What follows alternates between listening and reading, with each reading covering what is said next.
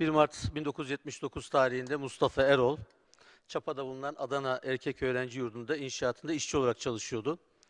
Sabahın erken saatlerinde Adana Öğrenci Yurdu'na yapılan bombalı ve silahlı baskın son- sonrasında bulunduğu atı- e, odaya atılan bombanın patlaması sonucu şehit olmuştur.